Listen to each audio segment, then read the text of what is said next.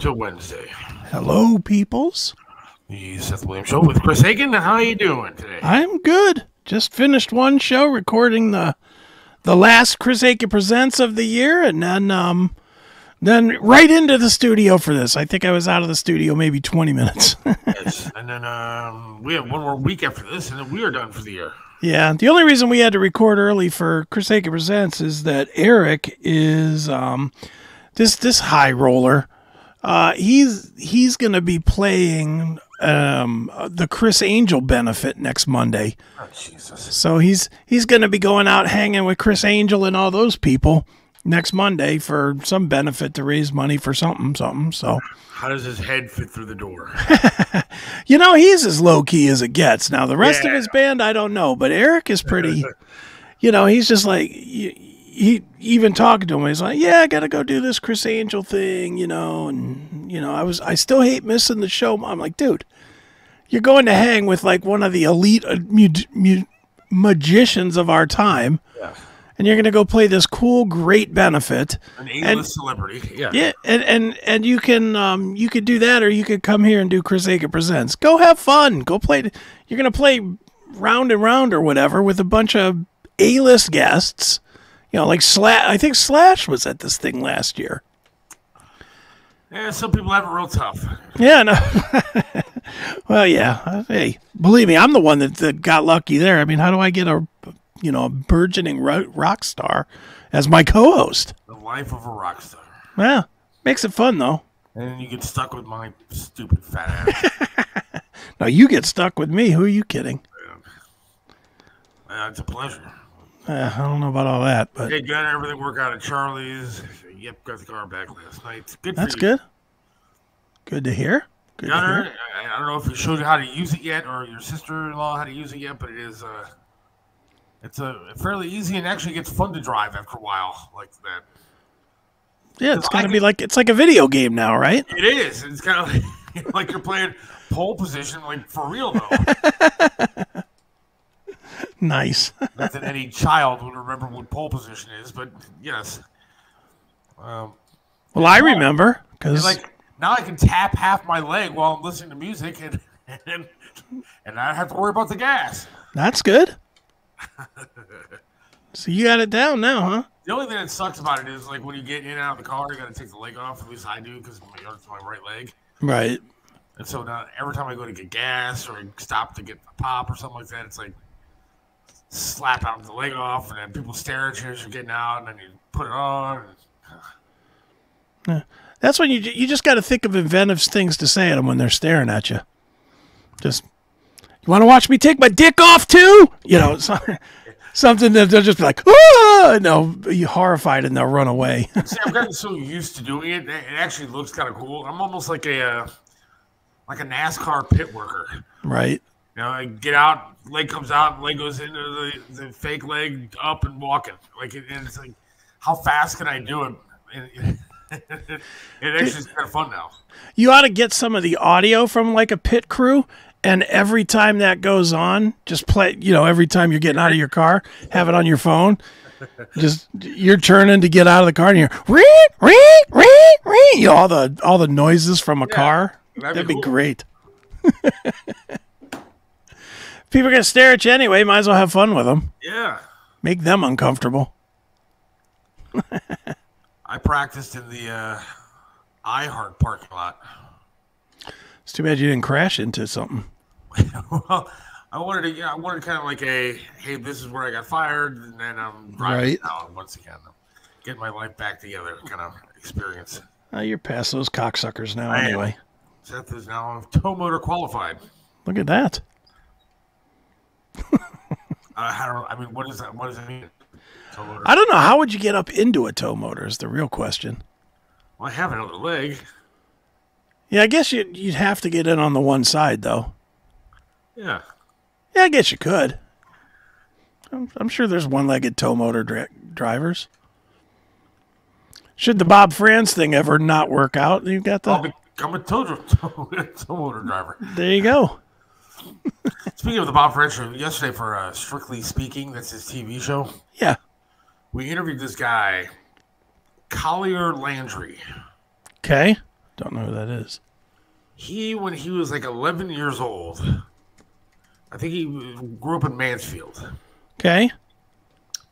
And when he was like 11 years old, got up, heard noises in his parents' bedroom or something like that, and found his mother missing or something. And uh, apparently, he testified against his father in the murder of his mom Whoa. when he was like 11 years old. And it's a hell of a story. It's a really interesting story. So when this episode comes out, you got to watch it. But there's a movie out there called Murder in Mansfield, I believe it is. Okay. What's it on? Do you know? I don't know. Maybe you can see, but it's a. It's about this. I think this Collier Landry actually did it, but he's got like a, uh podcast now with his girlfriend. His girlfriend's pretty hot, and she survived something like something. Uh, yeah, that's him. Yeah, there he is. He's an interesting, uh, interesting guy to say the least. But his story is is really something. Terra Sure. Newell, Terra Newell, N E W E L L is his girlfriend. Terra T A R A T E R R A T E R R A N E W E W E L L. Oh yeah, let's put her on the screen instead of him. Because we're, we're we're hetero guys. He is a good looking dude, though. He's got like those piercing blue eyes. He's a nice Yeah, guy. yeah. Like we care. I, I know. Enough I met her yesterday guy. too. She uh, she has a story where she, uh, I I guess, I didn't hear her short story. I had to leave, but they're both survivors of like serial killers and stuff. Wow. Yeah, she's hot. Is that how they found each other? Like through through their stories or whatnot? Yeah, yeah. She survived something. Killing of. You got to look up her story. It's something interesting too. Let's she find did like a, another episode also. And now they have like a podcast together called like the Survivor Squad. There's a lot of that true crime in the podcasting world. There is, and I like it. I go to bed listening to true crime stuff. I listen. You know what, I, dude? It's funny because I, I have two things that I go to sleep listening to. Either the Charlie Sheen anger management channel Right? on um on like Roku channel or whatever, or um interrogations on YouTube, where I'll just find myself another eight hour interrogation of somebody that you know whacked his family or something. yeah. And and I, it's no wonder I'm such an angry prick. That's that's what I'm listening to when I'm sleeping. But For whatever reason, when I listen to that true crime stuff about murdering people's families and stuff, I actually get relaxed and fall asleep. Yeah. Is it, I, I think it's that whole thing of well, at least our, at least my life's not as bad as theirs. At least, at least my life's better than what they're going through. That could definitely be it.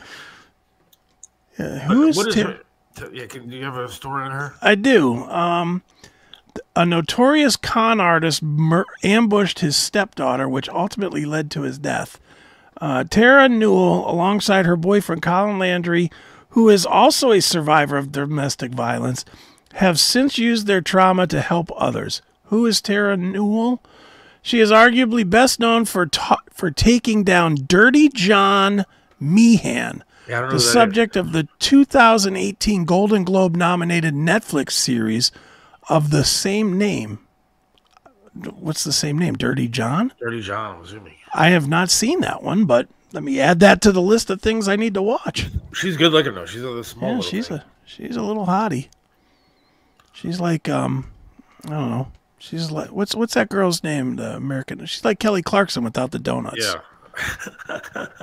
but her and uh, Collier Landry were in the studios yesterday. Actually, came into town. Oh, nice. Are they from here? Or? Well, he's from Mansfield and stuff, and so Okay.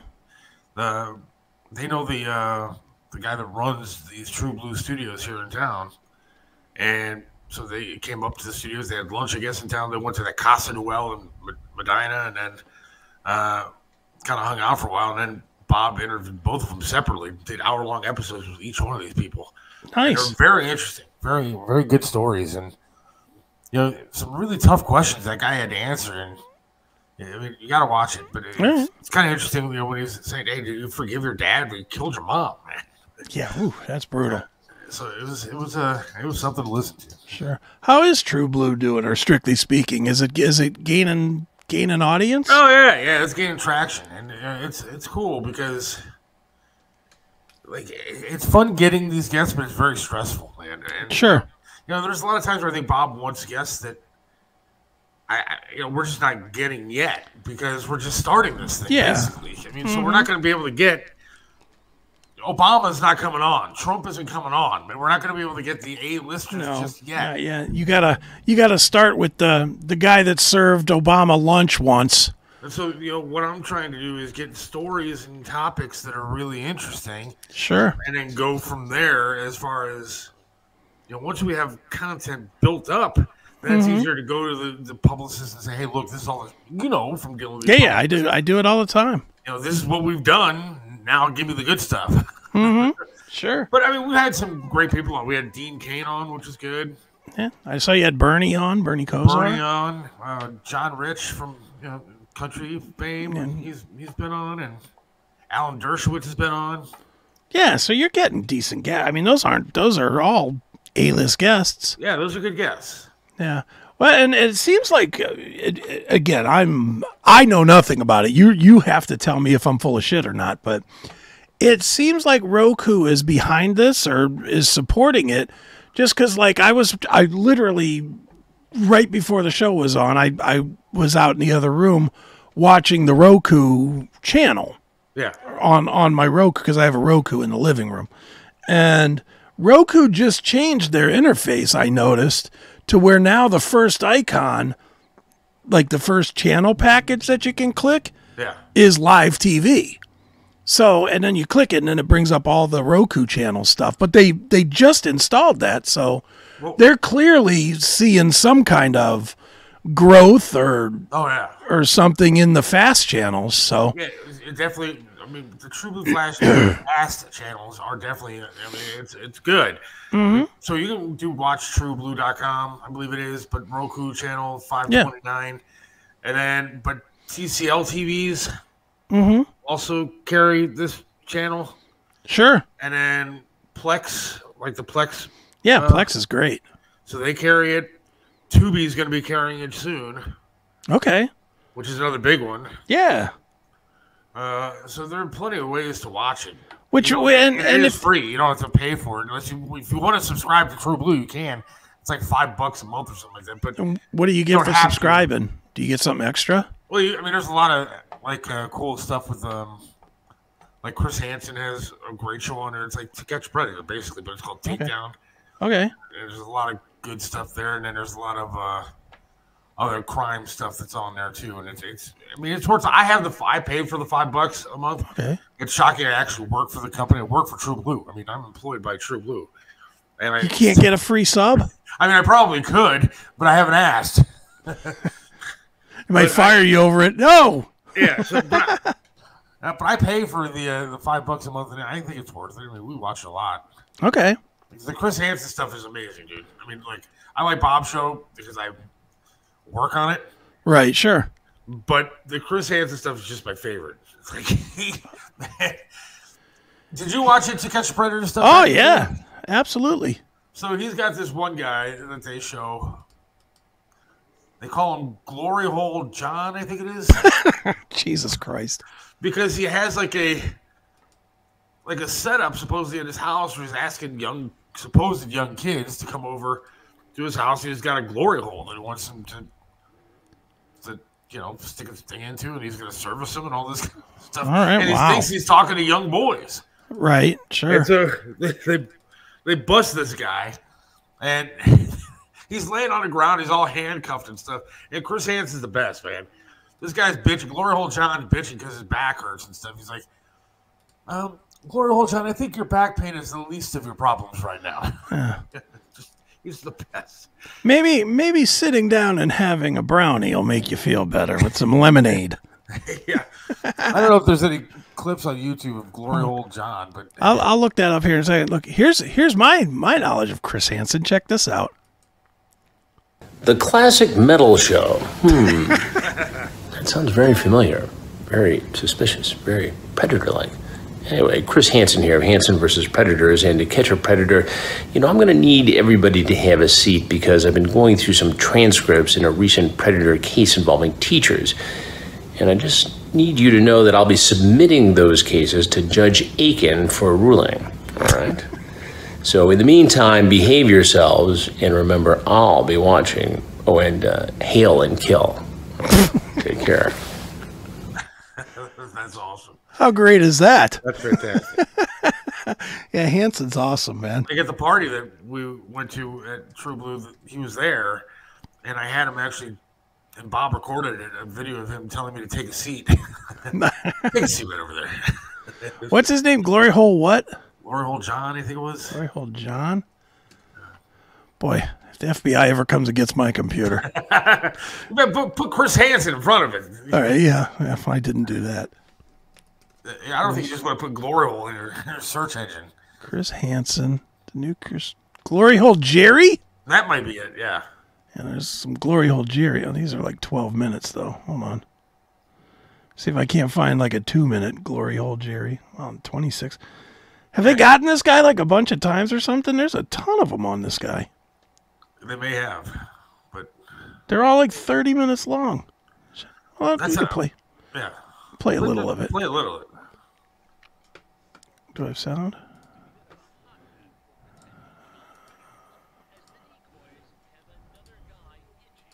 underage boy. The Viper Christ. That's a boy is crazy talking line. to a guy Oh, named this is- Jerry, who says he is 19 years old. No, he has not given me a location, but he said he's. Yeah. Fast forward because this is the episode. Glory Hole's not in there yet, so there he comes. Is this him? Yeah. Yeah, there you go. Meeting him. Meeting who? Oh no. Him. Who is it? Travis. Travis. And what's your name? Jerry. Jerry. Jerry, where did you come Glory from? hole Jerry didn't. Other side of the park. Right in this neighborhood. No, uh, other side of the park. The other side of the park. Yeah. And how did you meet Travis? What do you mean, how that meeting? How did you meet him? How did you find out that you should He was on Grindr. on Grindr? And what was the discussion on Grindr? Sponsored by Grindr. No, Jerry. you need don't you don't you can't Oh, leave uh, here. hey, Jerry, hey, tries chill to make chill- a hey. run for the door, but the Viper team doesn't let him get very far. Oh. Oh. It's like that clip I saw. Who are these guys talking? It's uh, this is like one of these fucking reaction videos to this video. It's the first one I found. Yeah, that's Glory Hole Jerry there. There he is. Ugh. And he starts bitching about his back, and Chris Hansen's like, "That's the least of your problems." Yeah, these cops. But watch, like if you fast forward, like Chris Hansen actually sits down while this dude's laying on the ground. Chris just sits in a chair. He's just like, all right, whatever. Where is he? He's, There he is. yeah. Oh, This dude. shit had Oh, no look- vet wait, video, bro. Look at look at this look at this power this power position right here. I'm even gonna move my webcam. Look at this power position, bro. Look at it. Yeah, Look- Chris is look at him. tough. Look at him. Mm. you know what I'm saying? This dude, this All is right, some Dick. crazy Nobody cares shit what right you here. got to These say. guys are annoying. You know who I am. Oh, because I've just I've said I would never do this, and I did it anyway. Why did you do it, Jerry? Because I'm stupid. Oh. It Seems like your back is the least of your problems right now. Oh my God, okay. So, That's hilarious. Yeah, I'm telling you, pay the five bucks to get uh, True Blue, because and then you get Bob's show. You get, and there's another show Bob's on there, another, another true crime show Bob did before. Okay. But you can still get the Strictly Speaking for free, but it's worth the five bucks to All right. get True Blue. That's cool, man. There's so many episodes of Chris Hansen just talking to perverts, which I just I can't get enough of. To be honest with you. Yeah, it's dude. Have you? You probably haven't, but have you ever interviewed somebody that's uh that's been arrested or done jail time as a pedophile? No, say that I have. I did, and man, it was a tough interview. I can imagine. I, I interviewed. Uh, t- I'll say the guy's name. I don't care. Tripp Eisen. He was a um, guitar player for um, uh, Static X and Dope. Yeah. and he got he got arrested for banging like 15 year olds or something on the tour bus and he he did like 12 years of time and i they asked me to have him on and i was really it, it's one of the only time you know me dude i don't really ask a whole lot of questions i'm just like i, I mean as far as like like if I book an interview with you, I don't really come to you first and say, "Hey, what do you think about?" It? I just book it, Right. you know. And it's the same thing. This was one of the few few times I ever like I I called Neely and I was like, "Hey man, I don't want to bring the show down, the show's reputation down, but I'm going to interview this guy. Do you care?" And and he was like, he didn't care. He was just like, "Don't don't sell this guy as like awesome either." And I was like, "No, I won't." And I and I did a hard interview. I mean, I asked the guy point blank how he expects anybody to support his band when he's a convicted pedophile. Yeah. And the guy was like, "Well, I'm not actually a convicted pedophile. I got hit with some other charge or whatever." And I was like, "All right, bro." But I talked to him for like 30 minutes, and it was very uncomfortable. And and I and I'll tell you, trying to talk to him about his dumb band after Yeah. was really really difficult. It was really difficult to be like, "Oh, so what's the what's the inspiration behind writing these songs?" It's like no one cares. You tried to fuck a kid. Yeah. you know, not funny, but yeah. yeah. It was it was definitely a really really tough one of the one of the hardest interviews I've I've ever done. But I was glad I did it because I like I like challenging myself to do stuff outside the comfort zone. And that was certainly outside the comfort zone. Yeah. I think the worst I ever interviewed was a I interviewed a hooker on the radio, All right. and um, Cinnamon is what she went by. Obviously, not her real name, Sure. but she was a hooker out of uh, one of the hotels right over there in Independence. Right. Because I found out like there was just a bunch of them. I didn't realize that in Independence there would be that many hookers that were over there, but there was like a bunch because it's a nice area over there. It was like a block away from the radio station. This this broad was, you know, doing her thing out of. Right. And so I put her on one of the overnight shows, and I found her number on Backpage. That's and I just called her up and told her who I was and said I wanted to do an interview, and she was like, oh, "I'll talk." And so I talked to her, and she was a very forthcoming. Oh, what, did you have to pry a little bit? And I guess this is really turning like sexually weird, but I mean, did you just say so? Tell me about your gig, and you know, Yeah, pretty much. I mean, obviously we couldn't get it was radio, Like here, so yeah. I, couldn't say, you know, how many gonna be like, hey, how many dudes do you blow a night? right? You know, you know, if you were taken in the eye, it wasn't anything like that. Yeah. Asking like, you know, how did you get into this? Why do you do it? And, right? you know, and how much do you make? And all this kind of. So it was, a, but it was a good interview. Sure. How how much did she make? It's like 180 for an hour. Wow, that's really not terrible. No. I didn't partake in her 180 an hour back then. I especially wasn't making enough money to partake. Uh, but she was a she was a nice lady. She was How old was she at the time? at the time? She was like 40, mid 40s Oh boy. So she's either retired or dead. by now. Yeah, Yeah. now she'd be in her 60s. Yeah. So she, I would imagine she's not doing it anymore. I hope not. But She'd be again, like, there's some guys out there that probably be into that kind of. yeah, she'd be a day stripper at Juicy Lucy's or something. But if you think about 108 bucks an hour, if you're doing what, like, I mean, say you did five guys a day, you're looking at almost a grand a, day. yeah, that's true. That's a lot of dick, though. Is Jesus. it tough work though? I don't know. Is it uh, I mean, just, all right? just if you can get laid five times a day and you spread it out a little bit, wouldn't you do it? Well, I guess she would be spreading it out if she's getting laid five times a day. But the real question is, I'm just saying, if you do like a couple before breakfast, a couple after lunch, a couple after dinner, you're good to go. Yeah, just ugh. I mean, how? Uh, there's something about that though. You're saying five times a day. I'm just thinking of the clean factor of that. Yeah, There's a shower in the hotel there. yeah, I guess, but mm, that's a lot of Okay, but you that's a lot of going hoping everything got caught in the condom. Yeah, well, I mean, that's the choice of being her, a working girl that she takes. Yeah, I'm gonna. I'm only gonna share this. I'm not gonna share the audio here. I mean, people can listen to it if they want, but I'm gonna put this this link in the chat here because uh, Gunner, I think, asked about the if it was comfortable or not, and he can hear it for himself.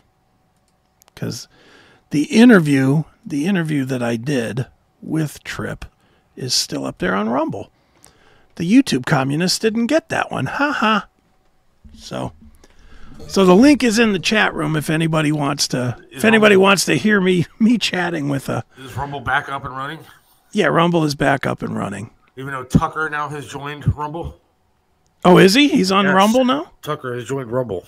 Is that for his new media company? I don't know. Might be. I just got a message from Truth Social saying that Tucker is now on Rumble. Oh, well, how about that? I know he just launched a new media company that's Yeah, like, to, and I, and I know he, he's his CEO is Neil Patel, who is like a computer guru. So that that has a real potential to be something good. So, That guy's got to be worth a ton of money. I mean, I can't imagine. dude, I can't believe that Tucker's the guy. I remember when he first came on CNN, and me and my wife used to used to goof on him because he always wore the bow tie and stuff. Yeah. and he just looked like a dork. Now he's the biggest guy in, in all of news. Well, then he went, when he went over to Fox. I really enjoyed him on Fox. Like I think it was the eight o'clock hour, nine nine o'clock hour, maybe that he started on it. And I thought he was great. I thought he was kind of quirky and funny. The hair was all fucked up and stuff. And I thought it Yeah. was interesting. And then he moved and got a little bit more serious when he switched his time slot. I think to eight.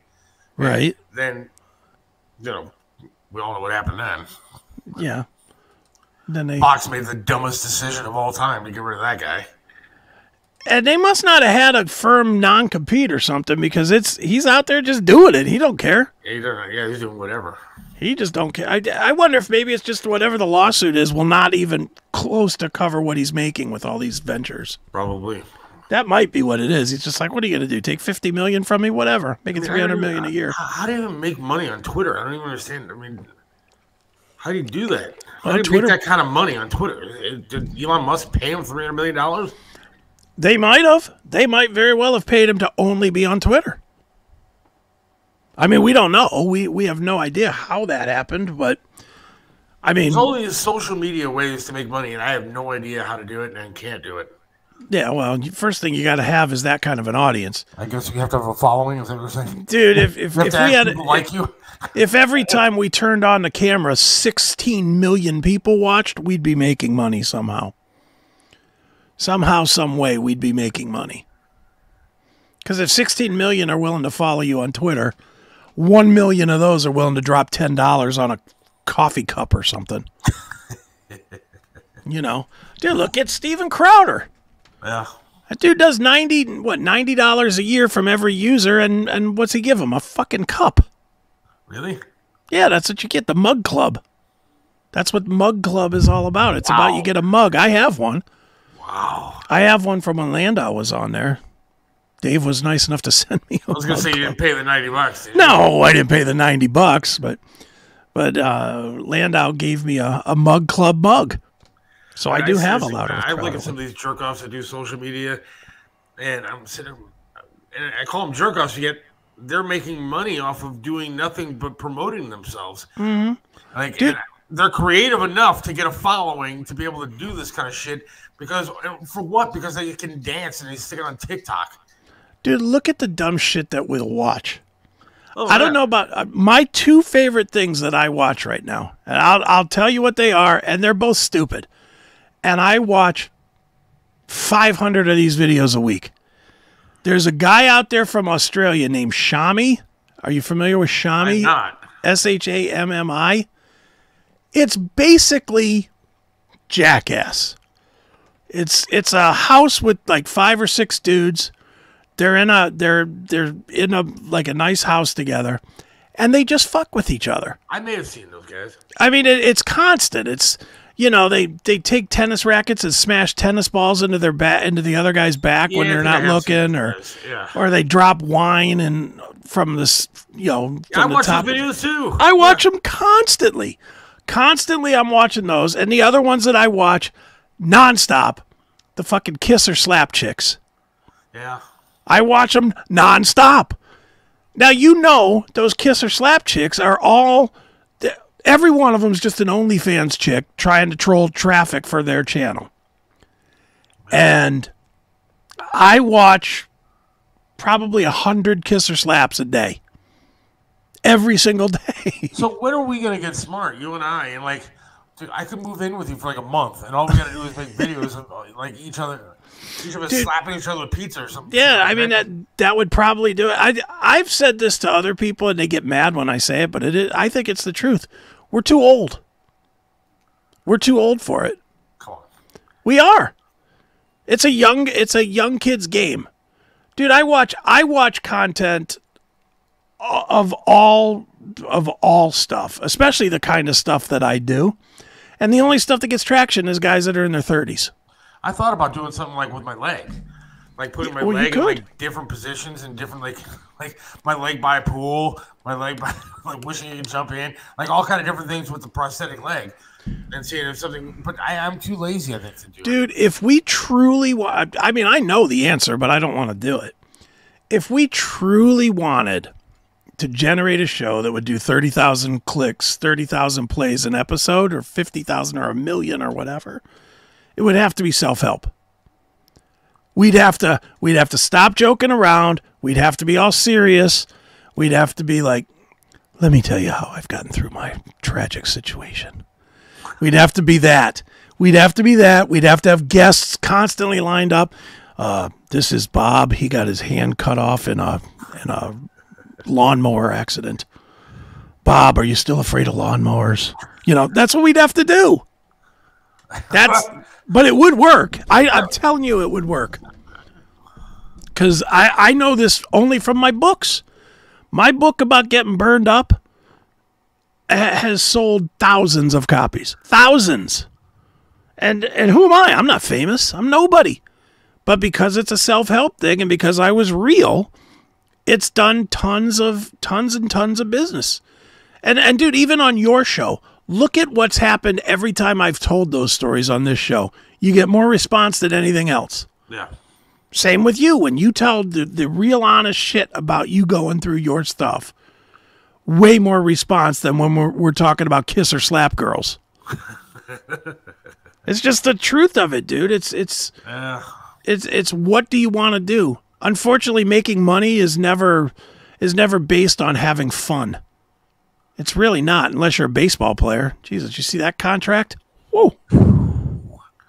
yeah. And then Ohtani is smart. Yeah, I'll just defer it for 10 years since I make 50 million a year in endorsements. That was brilliant. This dude Yeah. is going to make 50 million dollars a year for the next 20 years. At least 50 million. That's so. What do you even need that kind of money for? It's not about needing it. Dude, if you had 500 million dollars in the bank, wouldn't you want more? No. Do you really think you'd say that's enough? I'm done. Yes. I'm, I just don't want to make any more money. Yes. I don't think you would. You don't know you you wouldn't know what to do with yourself. Herb and I talked about this before. We both have the same philosophy. If I could be a major league baseball player mm-hmm. and sign a contract for, uh, give me just a big number, fifty million, Yeah. and, and that's spread out over five years, at ten million a year. Mm-hmm. After two years, I'd retire. I would say that's it. I'm done. I got nothing left. Uh, you know, you can keep the rest of the money, and I- I'm fine. I, I, I don't look at me. Do I look like I need a like a, a, a big lifestyle? I, I don't really want to change my lifestyle. I just don't want to have to worry about my But lifestyle. but you're saying that from a place of not being able to. There's a Right, but- difference. There's a difference of if you're don't forget if you if you had that kind of money, you're not going to be around guys making thirty, forty thousand dollars a year either. Everybody around you is going to make that money, so you're going to have to kind of you know you're competing. And the biggest thing that happened, this is why I say everybody should always, uh, you know, how much money do you want to make? Just a little more. Because you don't know what's going to happen tomorrow. You don't know. You don't know what's going to happen to you, your family, your friends, the world.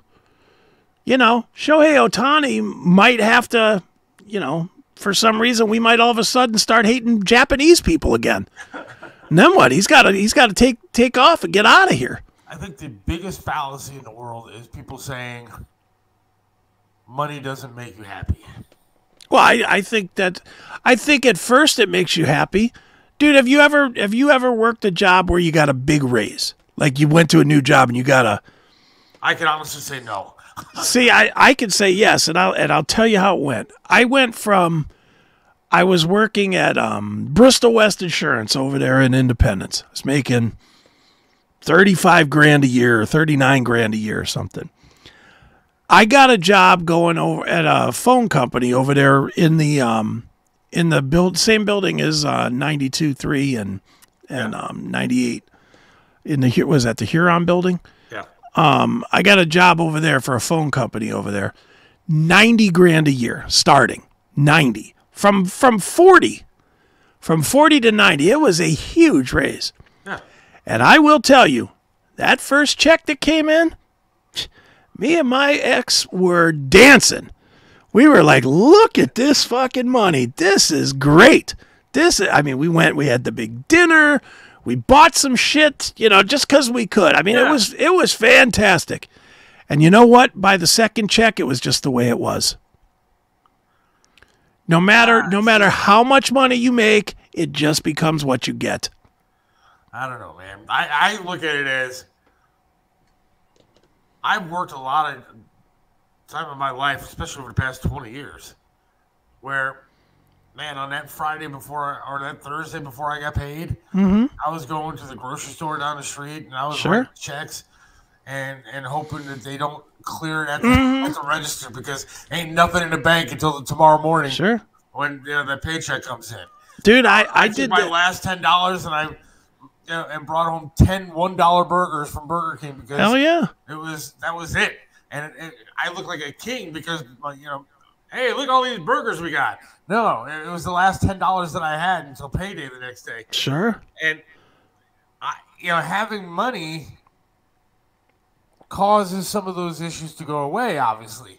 And when that electric bill you're not worried about paying it, or that cable bill you're not worried about paying it, then that's a that's a different kind of life than I've led pretty much the Sure. majority of my life. No, I get it.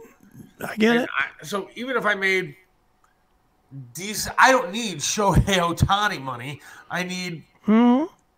average good money. That's Sure. what I want in life. And and you know, I think maybe I'm different. I, I don't. I wouldn't. No, but, but again, it comes from it comes from not doing it. I mean, I, I make a pretty good living with the businesses and whatever. I do pretty good. And I'll be honest, I don't feel like I have any more money than I did back when I was doing the same as you, shuffling. Well, if I write the, I dude, I and I did this. I used to write the checks, but I wouldn't go to the grocery store until four o'clock in the afternoon, Yeah. because I knew that the that the cutoff was three thirty at the bank, so that the check that I wrote at four would not even transact until the next day Right. And then I, and then by the time it actually cleared, it would be Friday. I mean, I played that game forever, and I bounced a shitload of checks. You know, I, I mean, I did. I bounced a ton of checks. And believe me, I'm not complaining about. You know, dude, I'm finally working again, so I'm very mm-hmm. happy with what I'm doing. Sure. And you know, I'm working two, three jobs, but I, you know, at least have money to go and buy some stuff that I want to buy. Yeah, and it's great. And but but do But you I'm saying think, if I made good money, but do good you feel know, now like you're in any better of a position than you did a year from a year prior? today? I feel like Yeah. I'm better off than I was a year ago. Absolutely. Are you happier? yes, Are you? All I am. I am happier when I know that. Shit, I'm not going to get those ten burgers. Dude, I'm going, Yeah. and I'm going to get myself a, a nice wrap, some, you know, some I don't know. side. I'm, I'm going to be happy. It- it's weird because I fight this battle with my daughter all the time because you know while i'm doing fine i really don't know that i'm getting paid today tomorrow next week next month three months. I you know i don't know. You know i'm whatever happens happens. And my daughter's always like she couldn't do that. She has to have the guarantee. And i'm like the guarantee guarantees that you don't make any money. You know in my mind that's how it works to me. I can make whatever i want to. I just have to work more. And for me when i when i had a job a jobby job where i worked and made $20 $30 whatever it was an hour you know whenever i had those jobs i was always miserable i hated it and it was because i already knew what was going to happen so i just didn't care about the job But don't you want some of that security with your checks coming in? Don't you? i have know? no reason to excel if i know i'm going to make the same amount of money if i'm going to make twenty dollars an hour, I got no reason at all to be the best in my field because I'm still going to make twenty dollars an hour. I'd rather take a risk, bet on myself that I can be the best and get paid accordingly. My question to you isn't. I'm not trying to get personal with you. No, that's fine. I don't care. I don't care. But what happens if you don't get paid for a month? Then I don't eat, I guess. Dude, I came at one point, I came within two days of losing my house. When I first started my, my businesses, I was 88 days behind. And, and they were like, if you get to 90, we're, we're repossessing your house or foreclosing or whatever they say, foreclosing. And I found a way to get it done. So, All right, we got a, a, our guest on the line here. Should I take a Absolutely. Break, or should we? yeah, let's take, take a quick break. Um, Quick break, and then we'll get right into it. All right, sounds good. Hang on. Does your company need fresh tees? Have you paid an arm and a leg for the ones you have? Worried about poor quality when you pay less? Stop worrying, Northeast Ohio, and visit us at www.wctees.com. At Wolf Creek Media, we're family owned, we offer simple pricing, and we're fair and honest. We even have an in house graphic designer and cover all your apparel needs. So if you need t shirts, hoodies, banners, or any other type of printing, call us at 330 353 9695 or visit us at WCTEES.com. That's WCTEES.com, a proud sponsor of The Seth Williams Show.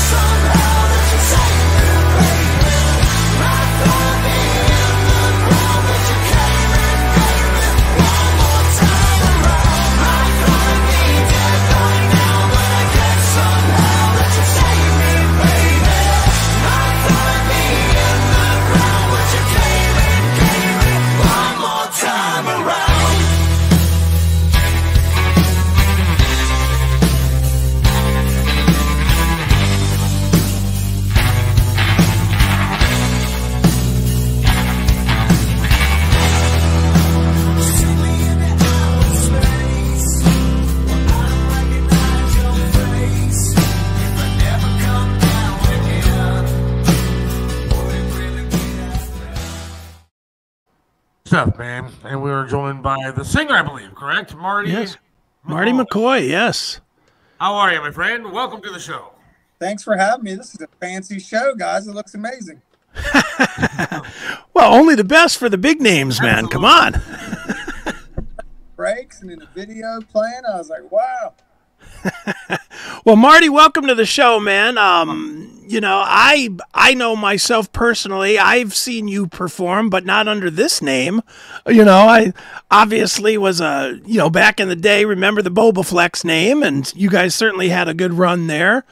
And now you're back as the Lonely Ones, man, and right on the cusp of your debut album coming out. So let's get let's catch everybody up, man. Tell tell everybody about the Lonely Ones. All right. So um, we started during COVID. We released our first platform March 16th, the day the world shut down. Uh, it was beautiful timing. It felt like uh, we can get past this hurdle. We can get past anything. Um, so we, uh, you know, we got all ready and geared up and, and got our touring vehicle and rehearsed. And then all of a sudden, you couldn't go anywhere for a year and a half. So it was a, it was a rocky start. Man. But uh, then the, the world opened back up and we got on the road and, and had some lineup changes and a couple things happen. And we just kind of really, I feel like right now we're really starting to hone our sound and starting to sound like the way we want to sound. Um, and it's going well. Uh, get some radio play and uh, getting some uh, some eyes on the band. So you know, nothing happens overnight. Nothing's instantaneous, and patience is very important. And uh, it's it's, uh, it's starting to pay off a little bit. Right How tough is that? How tough is it getting radio play these days? Um, well, like you said, I knew from the Bobaflex years, I know a lot of these guys personally. Okay. So I, it's a little easier for, I wouldn't say it's easy, but I, I get like, there's certain people I can call that will answer. Um, doesn't mean they're going to play the song. If they don't like it, it's not going on the air. Right. You know, if they like it, then you, you never know. Um, so it's I would say I mean it's still hard. It's still rough. Um, you know, you're going up against you know Ozzy Osbourne's new single and Avenged Sevenfold's dropping a new single, and so the song better be good. Right on, dude. Let me let me pull back just a, a hair from that. Obviously, you know we're we're mentioning Bobaflex, and I don't want to turn it into a Bobaflex discussion, but when you when you've been in a band that people know, mm-hmm. and then you try to carry on afterwards, that is notoriously difficult, and it's it's it's really hard. What, how has that process been for you, and what has been difficult in that process that you maybe didn't see when you decided to, you know, retool and change the name and all that stuff? Um, so I, I think we lucked out because um, Bobaflex was such a personal, uh, personable band with the fans. A lot of people stuck with us. Okay. Um, we didn't start from square one. We started from about square three, but we purposely um, didn't mention Bobaflex a bunch. You know what I mean? We want to come out like, oh, this new, this new band. Where'd these guys come from? And then people that knew would know, and people that didn't know just thought we were cool new band. Um, but it's it's been you know going from uh, riding around in a tour bus and, and being able to pay your bills. been a couple little things. We're, you know, we're doing all the driving ourselves, doing everything ourselves. I used to be able to lay around like a princess and get do sound checks and ready, uh, then take a nap play the show. Not like that anymore. Um, we're definitely down in the, in trenches, but I really believe in this band, and I'm having the time of my life. So worth it. You know, it's just it's kind of back to the back to the basics and back to the beginning, and you find out real quick what you want to do. Right on. And and you know one of the things too and and this is this is probably the biggest testament to it is you don't sound like the old band. There's a there's a new flavor to it. To me, you guys changing the name made sense because or change because you don't sound like the old band. You've you've really adapted to what is coming in right now, which is that that newer I don't want to say dirty honey style because I, I wouldn't say you guys are exactly like that, but you're in sort of that them rival sons, you know, um, world. Um, that's what we wanted to do was um, kind of be like lean more alternative rock, right? Keep keep a, a dancey kind of feel, um, an energetic kind of feel, and, um, but modern. You know what I mean? I didn't want to go back. We didn't want to just be a throwback band. Um, there's there's some guys that are smashing that, and you'll never touch them. They're blown through the stratosphere. They've already got it locked down, and that's not my thing anyway. I, you know, I'm a I like modern music. I like a lot of pop music, a lot of dance music, stuff like that. I like rock and roll. I like metal, um, but I wanted to do something a little bit different. And then when Jimmy took over on guitar, everything just changed. He's just a weird, cool. He's just got a style that as soon as he plays something, I go, "What was that? Play that again. Let's do that." So Chris is going to ask you about the music, which I love, by the way. But I want to know like the deeper details. I like to dive deeper. So you're a good-looking dude. No offense. I'm married, so you know nothing weird. I've been moisturizing. But you're, you're a good-looking guy, and uh, I only I'm I'm trying to live vicariously through guys like you. So I imagine you on the road with the guys in the band, tour buses filled with like girls that are hanging out the window and stuff. How, what's the road like for you? Um, I'm driving um, a lot. Got a But there's a girl there on your lap while you're driving, right? The bus is big enough, and uh, committed relationship. Um, Jimmy's in a committed relationship. We've never been those guys really. Um, uh, our bass player True, he's he's single, so he's he's a little wild. Our drummer Tristan, he's the younger guys. They're they're they're living their dream. They're doing the thing. well, if you need a roadie, an extra one, you know, yeah, you got our uh, our number now. Right on. Like I said, I, I'm in a committed relationship. I've been doing this for a long time. Good for you. I'd rather have somebody to call at night time and talk. You know, how was your day? How was it? You know, that kind of thing. And that doesn't sound very rock and roll. That's awesome. No, that's awesome. Yeah, yeah, we're ju- we're just playing a little, but Yeah. dude, dude, talk a little bit about the full length release. Um, you know, you've done you've you've obviously done full length releases before, and they are they're. And correct me if I'm wrong in this, but for bands, they really are an emotional commitment more than just laying music, you know, musical ideas together. A lot of times, you know, anybody that's that's been a fan of music for a while, every every favorite band we have has 10 songs that were probably just as good to a fan's ear but didn't make sense to the band or to the emotion that you were capturing. So how much of that did you have to fight through on a debut where you're really trying to make a mark not just for yourselves but to make a, a big impact with an audience? Um, that's a good question. Uh, I like these questions, guys. So happy. Uh, what's your influences? Um, so uh, when I write, like I, I put everything I got into it. Anytime you hear my lyrics on a page, they are deeply personal, usually very controversial, and like, what the hell did he just say? Um, so I, I feel very emotional every time. I, like when I'm writing, I'm like, am I allowed? You think I should say that? Should I let anybody know this about me? You know, this is very personal. Should I, should I put this out there? And then I get up and go, let's do it. And I usually call him and go, here's my lyrics. And if, he, if he's like, oh shit, man, let's go. Those are awesome. Then I know. I for us, we've been working with the same people. I'm, I'm at the studio actually right now. Um, Okay. In uh, Columbus, Sonic Lounge. One of my best friends I've been working with since since I was 19 years old. Um, so it's a very like it's a very family oriented kind of process. Um, nobody steps on anybody's toes. Everybody um, say what they got to say. Uh, if someone gets, I, I don't like that part, and I go, ah, you don't tell me what to do with my lyrics or Right. car part. I'm not really feeling it. It's a very open, um, democratic process. Uh, but I feel emotionally that you know I'm bearing it all. Sometimes when I when I'm writing, I'm like, oh man, this is heavy. I don't know if I'm if I should you know expose myself like this. I Right, and, and and the thing is, is is well, you, the the thing is too, man. It is really hard. Like I- you know, I, I say this all the time to to mus to musicians. I write books about myself, and and that is not. It's not so hard to do. It's hard to take when people bring it back to you. When people say, "Hey, you know." who were you the question i get asked a lot is who were you writing about who were you talking about here and a lot of times you don't kind of want to tell that part you know that's there, there, there's a reason like you as a songwriter probably wouldn't put a name of somebody that you're hammering and call the song that name but but you know who it is and they probably know who it is where where's the line for you as far as you know the comfort line, I guess, is what you will put out there versus what what you do draw the line on.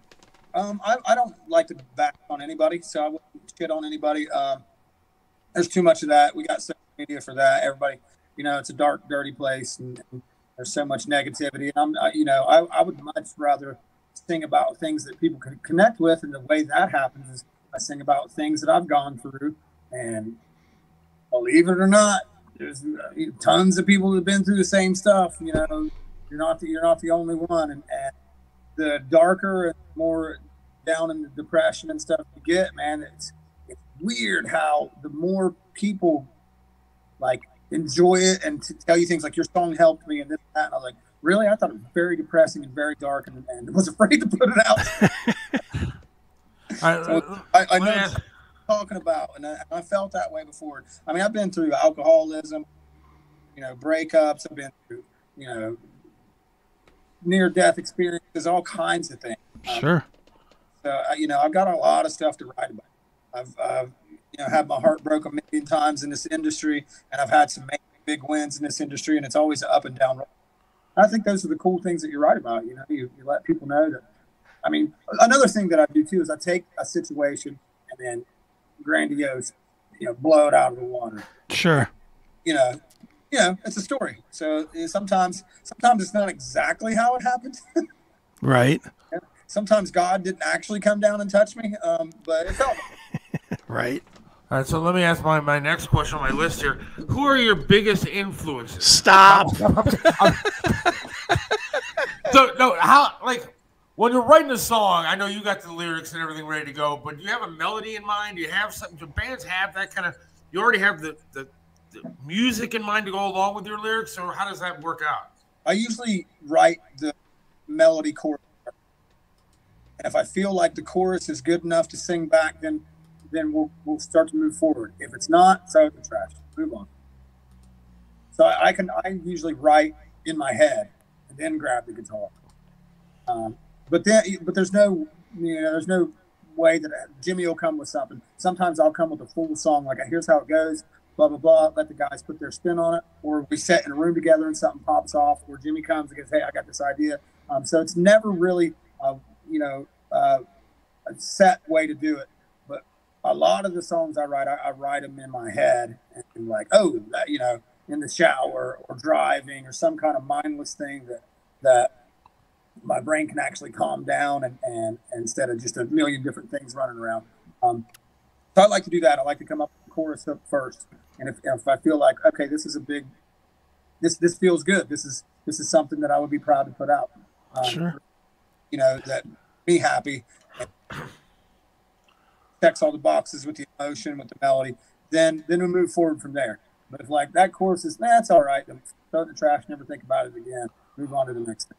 Do you ever want to punch the uh, creator of Spotify or Apple Music like in the face? say, Thanks for screwing up music because now we can't make as much money as we, we should be.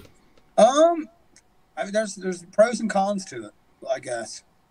I, what I always said was, I mean, the, mus- the musician's always getting screwed over somehow, unless you're an independent genius who is only not only a great artist but a great businessman.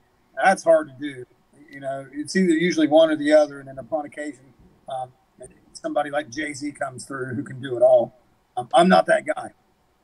Um, but you know, a, a bunch of lamp oil salesmen used to rule the world, but now we have electricity. So I mean, the world moves forward whether you like it or not. Yeah, but you know what, man? You're right, but at the same time, the industry could do a better job at making it, making it make sense. They haven't um, ever. So what's going to make them do it? Yeah, I, I dude, I, I mean, I, I don't want to get too far into this, but, but I mean, this is what I do in my day life when I'm not when I'm not playing radio. Guy is I help artists get their royalties that they're not getting, and believe me, believe me when I tell you. What I see is they don't care if you get your money because they get their percentage from Spotify. And you know what what drives me the most nuts just seeing it is every musician I know says that they're not making what they should make from Spotify, Apple Music, well, whoever it is. I don't want to name anybody specific, but all of them. And at the same time, Spotify puts a little graphic out and says, "Here's your here's your Wrapped. Share it with your gr- share it with your audience." And everybody's like, "Yeah, this is the company that's fucking me over, but here's how many plays we got." It's like promoting them instead of promoting yourself. No. Yeah, it's. I mean, like I said, it's it's a marketing tool. Uh, Before um, Spotify came out and iTunes, and people had to download it for ninety nine cents, we, were, we were crushing. Right. Everyone's like, not you know, I, I never lived through the days where um, a record label and you sold the record at the store and everybody came to the store and waited at midnight to get the new Guns N' Roses album. I mean, I, I wasn't in a band at that time. I was at the record store waiting for Guns N' Roses record, but I never came up in that world where you know song hits the radio all of a sudden you're you're doing really really well at least from touring and, and that kind of thing um, i came up when it was kind of like that for a minute and then all of a sudden itunes was a thing Right. you, when we were independent, you were making 99 cents a download. It's like, it was, it was pretty good for, you know, uh, more than I had ever made. And then all of a sudden, you know, it's like we're looking one day and we're like, shit, man, we're making, you know, 15 grand a month just from iTunes. And then all of a sudden, boom, it's gone. And like, what happened? What happened? And there's this new thing come out called streaming. And, uh, and it was over. Yeah, that just sucks, man. Well, dude, let's let's swing to better topics here. Um, you're actually um, in our neck of the woods here on Friday. You're going to be at the Outpost in Kent, and then, of course, you've got your your um, release party on Saturday in Columbus. Talk about what fans can expect at the show. Oh, a lot of really cool stuff. Um, which one, the Kent show or the Either one or both. Um, the Kent High show is going to be the good warm up for the, for the CD release party. Um, I'm I, li- I moved to Florida. I moved to Orlando. Okay. I fly up to Columbus. Um, so I flew up on Monday. and We've been rehearsing, you know, six seven hours a day, day getting ready for these shows. We're going to do a, cou- some some really cool stuff. Um, we brought in a keyboard player. Uh, we brought up some backup singers, so we're gonna have that whole kind of Black Crowes vibe thing going. Um, Nice. Which I'm excited about. You know what I mean? Uh, but yeah, we're doing some new covers, and we do uh, Friday in Kent. Going to be an awesome show. I love that club, and then we do the legendary Newport, and we're our, we're going to sell our record at both places. Okay. Uh, Jimmy, the guitar player, was like, Can, like we, we can't sell the record Friday. Go, Why? For CD release, I go to CD release party. I don't mean the CD's not out. It's like we Right. Wants it, give it to them. Um, and that's a crazy thing too. We decided when the Lonely One started, it's like ah, CDs. Nobody listens to those anymore. That's not true. It's enough people listen to them that you can pay your bills. Okay. That's Yes. We, we thought we'll just do streaming. We'll le- release a single. We'll do this. We'll do that. We'll hit the new model. And then at some point in time, we had enough singles that it was like, okay, let's put out a record just to have it on the table, just in case somebody asks. They're asking for it like crazy. Our pre-sale orders were outrageous. A record store just hit us up here in Columbus, like, hey, people are coming to my record store asking for your records.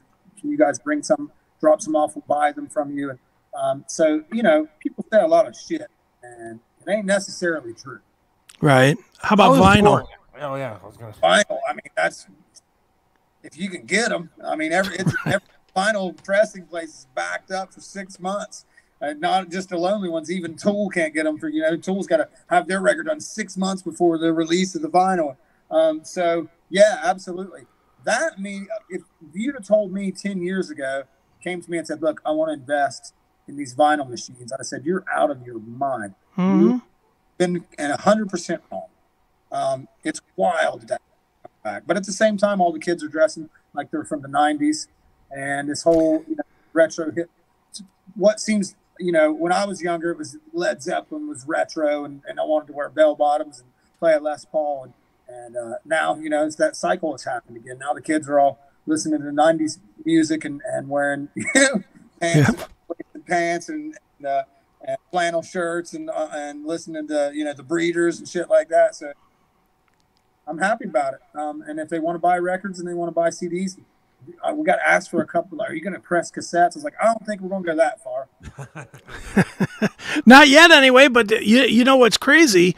That market is starting to pick up too. I I'm more and more. I start seeing. I'm starting to see people that are releasing cassettes. You know, limited numbers, like thirty of them or something. But still, it's crazy that that's coming back too. So, so, you know, I don't mean to sound like, but the internet is such a wild place. You can be huge in your niche market. Millions of people love you. Take one click that way, no one's ever heard Yeah. your own your own world out there. You know what I mean? You connect to so many people. It's like there's the vinyl crowd, the CD crowd, the the you know the reggae. Like I hear I, all the time. Like, have you heard of this reggae band? I was like, no, I haven't heard of it. Never heard this name before. And they'll show it to me, and there's fifty thousand people at this concert, and it's like because the internet is so you can get into whatever you're into, and there are millions of people that are into the same thing. So it's like you just never know. That that's the good thing about the internet. Um, you know, we don't have MTV anymore. Uh, so, Haven't had that in 20 years. yeah, it's bizarre. How, how has touring changed over the years? Because I mean, it doesn't seem to me. I know in the Cleveland area we don't have as many clubs, and uh, as far as concert clubs as we used to have, has touring changed a lot over the years? Um, I, I mean, COVID, COVID closed down some venues, um, and that was a that was that was rough on everybody. Um, but no, I mean, touring's been pretty good. Um, the festival thing, the the big festivals, are a little different. You know, during festival season, um, it'd be hard to play anywhere in Columbus, Ohio, getting close to Sonic Temple. You know what I mean? Right. people have people have spent their money. They got their hotels. They're ready to rock um, for that three four day weekend. So it's kind of that kind of thing. You kind of stay away from out. If the festival's here, you got to be way out here in the country um, to kind of you know just because like I said, you know people have already spent their money and, and concert tickets are are getting higher and higher and higher. So people are going to less and less shows and they're picking the ones that they like. Um, instead of just I go to a concert every week or I go see live music every weekend. It's like things are so expensive right now. So hopefully the economy comes. I don't know. I, Well, that's a, I was gonna say that's the problem that I have. Being a fat guy, again, we talk about this all the time. Going to these festivals, I'm gonna die out there, and I'd rather go see just a, a band play some of my local clubs. You know, go play the arena downtown instead of these festivals with like 200 bands, and it's Yeah. three days of me dying in the heat and the rain and everything else. I mean, what do you like better? I mean, you probably get more exposure, a lot of exposure with these festivals, but Oh, love playing the festivals. Uh, for as a band, un, incredible exposure. Um, and then you, you know, I've been touring for so long. Backstage is like a family reunion. You see this guy who's now working for this band. You see this guy that's now in this band, or, or you know, you just see all these people, and it's just this wonderful thing. And and um, it doesn't matter if, if you're playing, um, you know, Sonic Temple at noon. It's a massive opportunity Sure.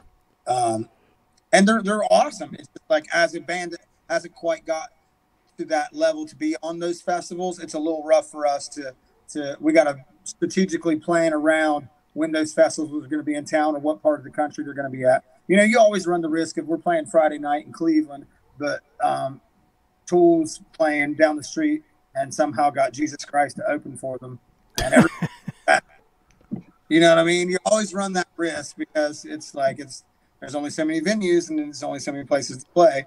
Um, but when the festivals come in, it's it's like you, you got to be if you're not playing it, it would be silly to play Friday night in Columbus, Ohio, while the Foo Fighters are on the big stage at the stadium that night.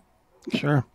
Yeah, well, uh, we're, I, I'll tell you, we are anti, we are very, very anti Sonic Temple. Not because it's not a great festival. I've, back when it was Rock on the Range, I went three years in a row. So I'm not saying it's a bad festival. What I'm saying is it's killed Cleveland. Cleveland is a dead market in the summer because of that 100 mile radius thing.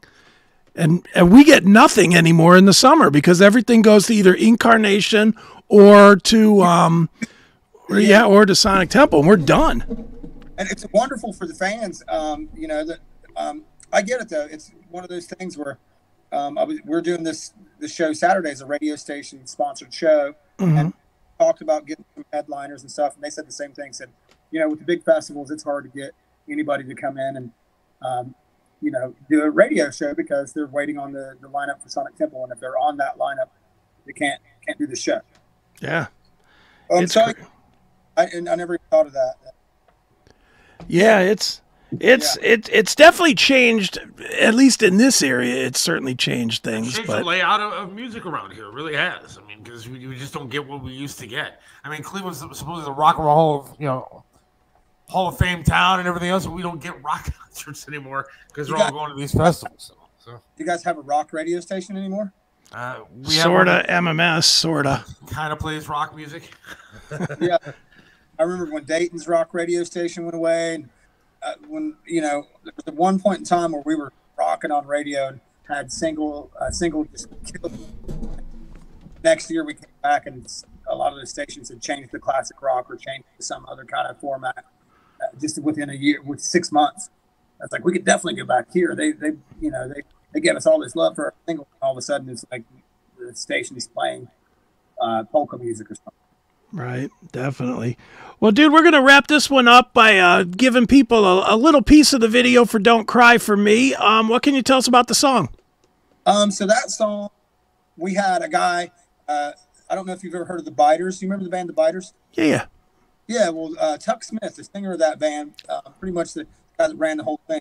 He started another band and really liked his music and stuff, and just started hanging out with him. And, and uh, he produces bands. We called him and said, "Come up, man. Let's write some songs together." Um, this dude was wild.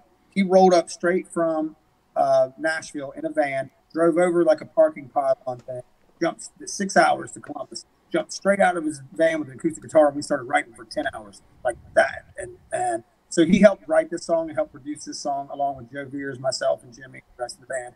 Um, this song lyrically is about if I something happened to me tomorrow and I was I died, I had a pretty good run, man. I don't know. I'd like to take the lonely ones to the top, but if you know something happened and I got smacked by a bus, I'd be like, "Don't cry. I, I had a pretty good run, man. I've done a lot of things I didn't think I was going to be able to do." Right on, man. Well, dude, before we play the song real quick, um, tell people where they can go to keep up with the Lonely Ones and buy, and I do mean buy merch and all that stuff. Um, so Lonely Ones on Facebook. If you type in the Lonely Ones and the picture of us comes up, you can get everything. So the lonelyones.net is our website, um, which I didn't even know people use that anymore, but they do, just like vinyl. Um, Facebook, Instagram, all that stuff. Type in the Lonely Ones band. It's all there for you. Wait a second. And I want to say that I used it earlier today and saw that you guys have sweatshirts to fit a fat fuck like me. So I'm very happy about that. So I appreciate that, and you guys rock even harder because of that. You don't look fat from here. Camera takes away ten pounds on the podcast. Pretty good. From, I was like, that's not bad. Nice. well, thanks, man. Well, Thank di- you so much for having me, for checking out the band and, and taking your time out. It means a lot. And uh, we'll see you in Kent, right? You're going to drive Yep. up. yep, on Friday. Absolutely. Thanks, brother. All right, Marty. Later, guys. Take care, man. Peace.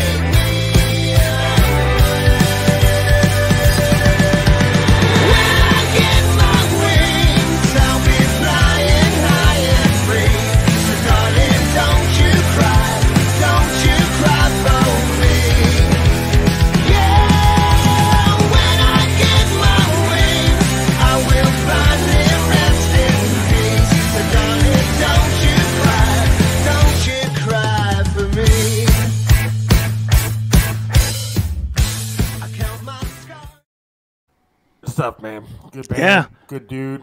I like Yeah, Marty. Marty's a good, good, definitely a good dude. I don't know him though. I, I mean, I, I, I've run into him because I, I saw Bobaflex a bunch of times back in the day. Yeah. But I'm glad for, I'm happy for those guys, man. It- I, I can't even stress. I didn't want to turn it into this. That's why I, I just walked away from it. But I cannot imagine how hard it is to have a band. I mean, it's when when they when they ended Bobaflex, four of the five guys started the Lonely Ones. Right. It was literally the singer. The singer kind of got left or pushed out. I don't know how that went, but they just didn't feel they did the honorable thing by not carrying on the name without that guy and uh, that has to be hard to give up 10 15 years of establishment you know i mean bobaflex was a fairly fairly well-known band. I, I'm aware of them. So yeah, they had to be. Uh, yeah i mean they were i mean were they metallica? No but they were they they had done they had paid their dues where when you're just when you're keeping four guys and losing one guy i could easily see well we're still going to call it bobaflex yeah. you know but but they i'll give them credit where credit's due. They started over. They did retool the sound a little bit which is good and um i like what they're doing man i i hope they have nothing but success man because they're pretty solid man All right, so I guess we'll take a quick break here, and then uh, we'll play this ridiculous dog pound details. I mean, he put effort into it, so I guess I should play it. well he's probably got something to say to you directly i would imagine We'll talk about that for a few, and then we'll wrap it up. I don't think Tony's joining us tonight, so okay all good he's taking the night off to enjoy. So we will uh, be right back in uh, a few minutes after we hear from Bloom Doggy. from the winning cleveland browns reporter john drake we'll be right back.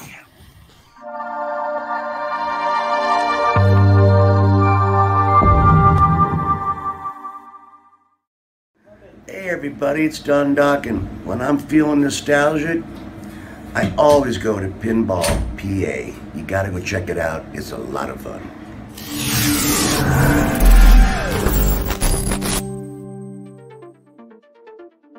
When you want to have fun in Pennsylvania, there's only one place to go Pinball PA. Located near the Pittsburgh airport, we have over 420 classic pinball machines and arcade games that you can play.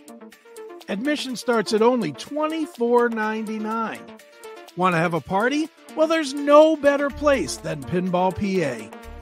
Visit our website today at www.pinballpa.com to get more information or to book your next small or large party. Pinball PA, it's where the action is.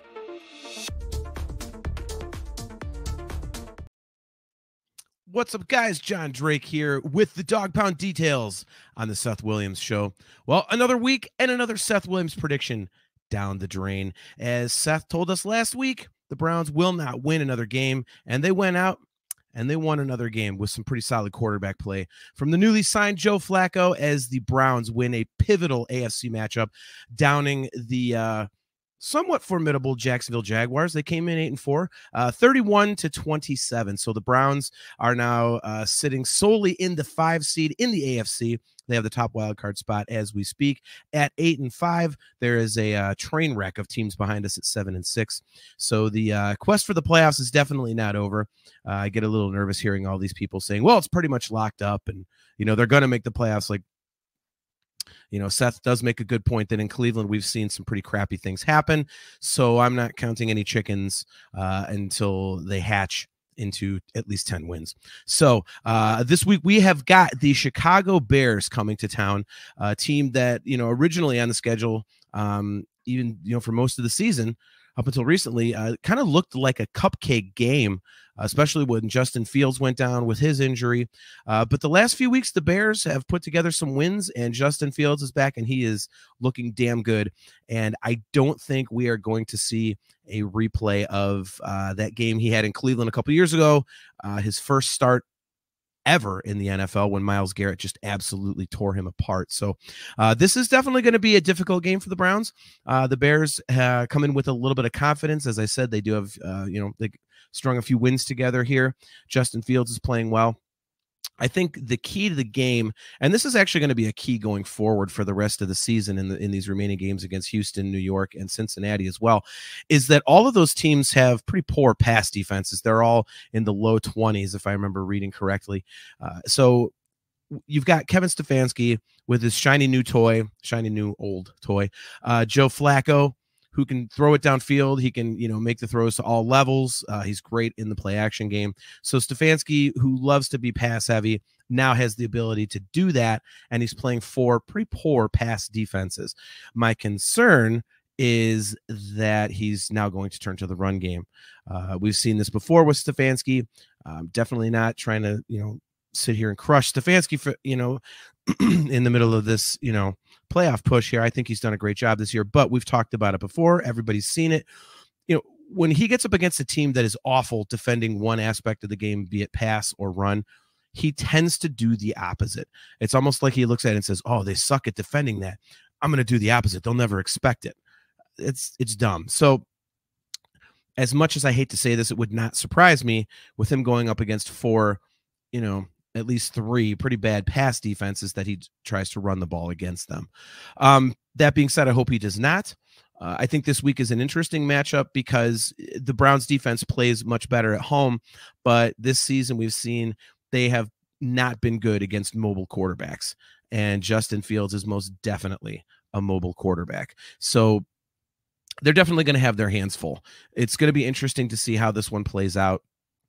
You know, I think I think all all the remaining games on the Browns schedule are winnable for them. Uh, you know, I, I, would say that the most difficult one would probably be uh, Houston next week, but they may not have CJ Stroud. It depends on where he's at in concussion protocol. Uh, that uh, week 18 matchup in Cincinnati against Cincinnati, they're going to have Jake Browning, and he's looked really good for two games, but he's a backup for a reason.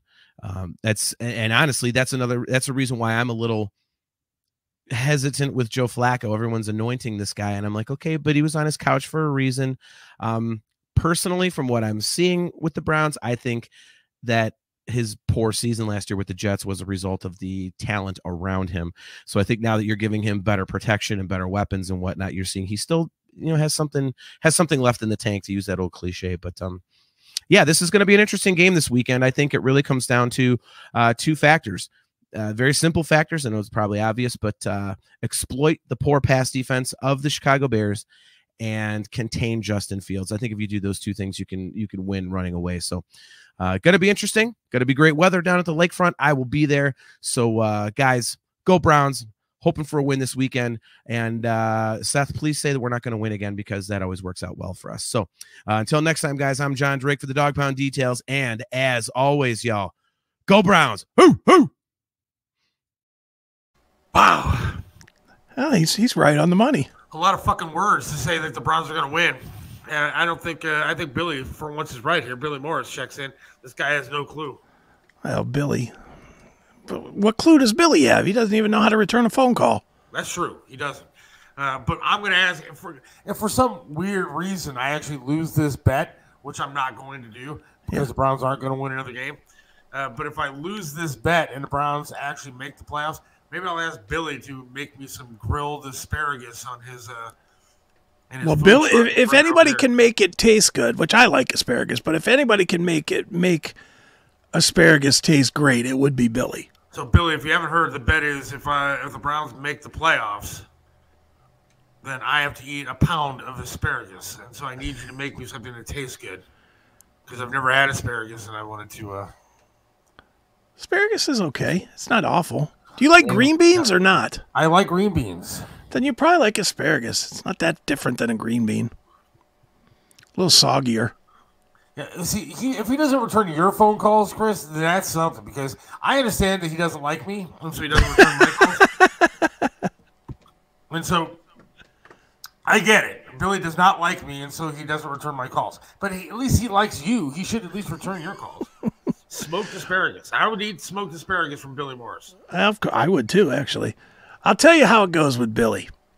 I'll I'll talk to Billy, and I'll get about ten minutes in, and then he's always on the run. He's always got to get the kids somewhere, got to get something for Leah, got to get something for the studio, got to get something for the building, whatever. But I'll, I will call you back. I promise. I'll call you back this afternoon. And then three weeks later, I call him again. but it's fine. We haven't had any truth. Truth be told, we haven't had um, we haven't had anything that was like immediate need right now. I think if I if I truly had something that was immediate need, he would call me back. But I love Billy. I think Billy's one I do of too. the best people of all time. Hard, I mean, I tell my wife this all the time. Like, I've never met uh, the people that I have surrounded myself currently, like yourself and somebody like Billy Morris. Billy Morris is an incredible worker. Oh yeah, like incredible. Like he has his hands in so many different things, and he's been doing this for years. Where he just Mhm. puts his hands in a lot of different and just makes it work. yeah, And you know, I, I give him a hell of a lot of credit, man. He's not only a talented musician, which is, is is good enough, but the guy just happens to just make shit work. yeah. Well, me and him are doing something something in 2024. So, Well, and it won't be establishing phone calls. great. Now we're going to have two people that want to answer my calls. Nah, I always I always return calls. I, I barely ever answer my phone on the rings either, but but I do, but I do return. You got to admit, I always call back. You do. You call back. Yeah. So good things, good day. And Billy's a good dude. No matter now he's now he must need something.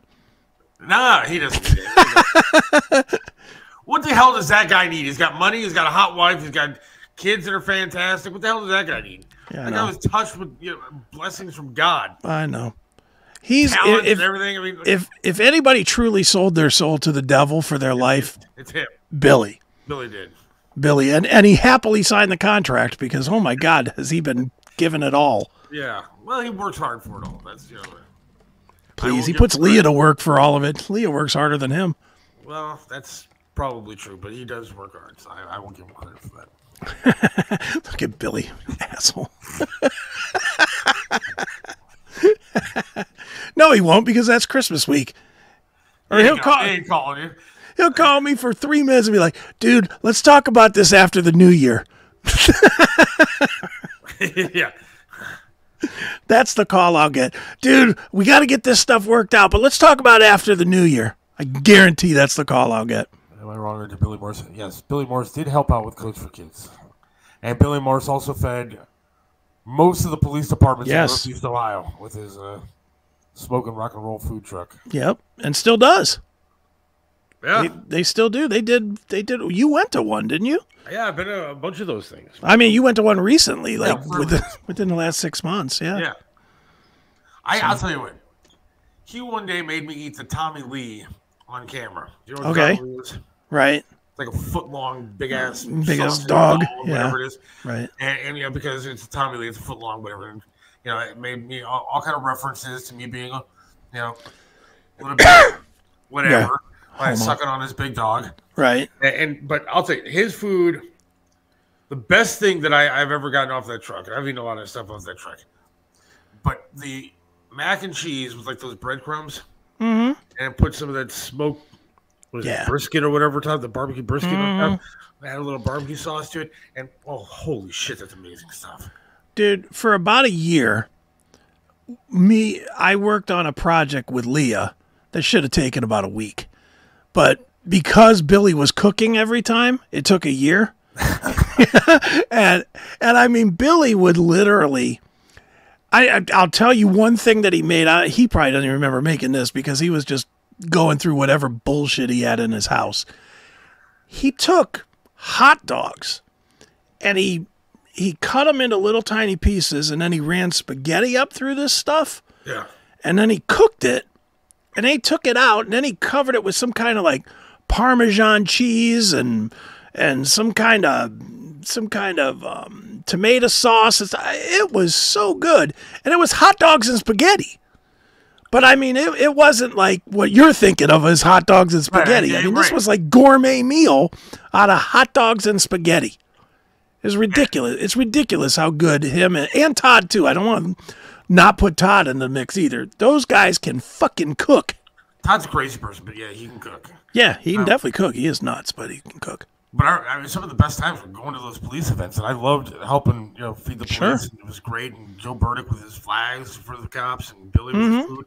But like my favorite part was after I was done, Billy's like, "Get something to eat," and so go grab a big box and take it back to the station. Trivia would be trying to talk to me, I'd be just chowing down. Yeah. say hi to Leah. Every guy would like to say hi to Leah, Billy. Hi, Leah. Hi. What's going on, Leah? I don't know if you're interested in one-legged guys, Leah, but hey, If you've got a sister that likes fat guys, we're here. uh, Now, Leah rule. I, I- she rules all by herself too. Yeah, she does. She's awesome too. I mean, I I got to know Leah pretty well when we were doing some web work together, and she rocks too. Bill, like I said, Billy. Hit the jackpot. They always everybody talks about setting the bar high. Yeah. Billy had Elon Musk launch a spaceship to set that bar that high. Yeah. And then somehow he cleared it. I don't get how that even happened. Because Billy's a low life piece of shit like us. Yeah, I know. and yet he he gets he gets Leah who likes uh, to likes to do all the manual labor stuff and is smoking hot and you know raises kids and you know lets him go off and be a rock star. It's like what the hell? Where's the penalty? There's got to be a penalty somewhere. He's going to hell. I mean, that's that's what it is. I mean, he's, Going to hell, he's going to take the devil's chair for God's sakes. Because he's been given everything on this part. Oh, everything. All right, I'm done kissing Billy's ass. we love you though. Just answer the We damn do. phone every now Yeah, and no shit. Call and say hi. You know, phone works in two ways, Billy. Not his. I was gonna- He's got the one that doesn't. Mm-hmm. He's got a walkie-talkie.